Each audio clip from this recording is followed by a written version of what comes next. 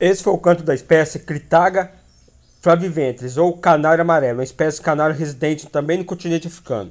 Possui em torno de 3 centímetros de comprimento. Sua alimentação consiste à base de sementes, e alguns insetos. Até a próxima. Tchau, tchau.